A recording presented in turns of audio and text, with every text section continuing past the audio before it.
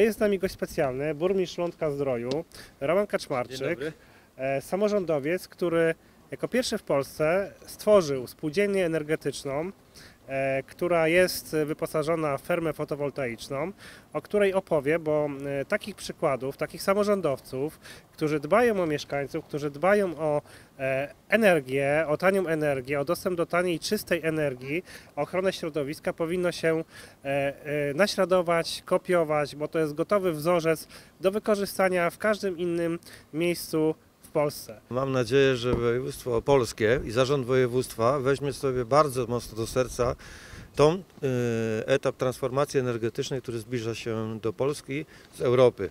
Idzie 120 miliardów złotych, z tego 2 miliardy jest celowanych na spółdzielnie energetyczne. Dlaczego spółdzielnie energetyczne? Bo one wytwarzają prąd na potrzeby własne.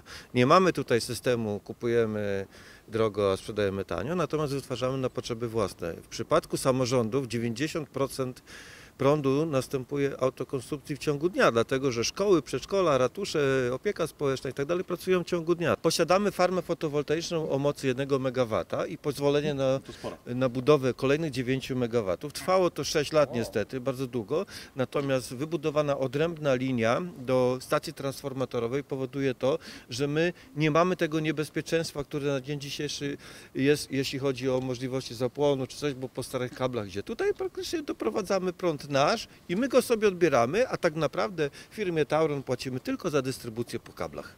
myślimy o rozwoju energetyki opartej e, o spółdzielnie energetyczne, e, które e, pozwolą na zaspokojenie potrzeb zarówno w zakresie infrastruktury komunalnej, jak również budynków komunalnych, pozwolą stworzyć bazę dla rozwoju elektromobilności. Tutaj e, trzeba też pamiętać o tym, że takie działania gmin są też przykładem dla społeczności lokalnej, dla mieszkańców, że po pierwsze to się opłaca, to można zrobić, e, że są pozytywne skutki w postaci tego, że ten smog znika, Zadaniem na następną kadencję będzie również transformacja oświetlenia ulicznego, które e, pożera lwią część e, wydatków miasta. Uważam, że e, miasto powinno zainwestować w oświetlenie LEDowe, e, które jest e, bardziej wydajne i przede wszystkim e, zmniejsza rachunki za prąd dla miasta i to uważam będzie w sposób szczególny e, ważne zadanie w najbliższej kadencji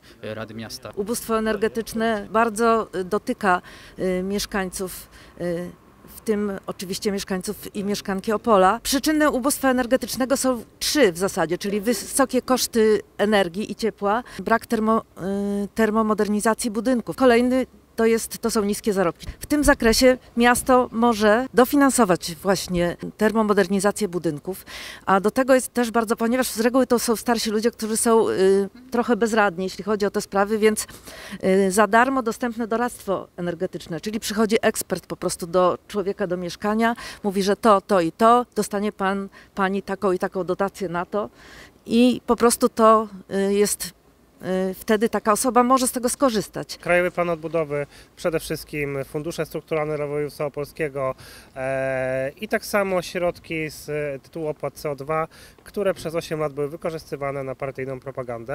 E, w momencie, gdy sieci elektroenergetyczne e, są bardzo niskiej wydajności i zużywają e, ogromne straty, produkują tak naprawdę czasami sięgające 50%. To jest odpowiedź na pytanie odnośnie e, sposobów finansowania, bo właśnie w KPO, właśnie w funduszach europejskich, e, czy tak samo w innych programach, tak jak Fenix, e, funduszach norweskich, są źródła finansowania tych wszystkich pomysłów, którymi do Państwa tutaj dzisiaj wyszliśmy.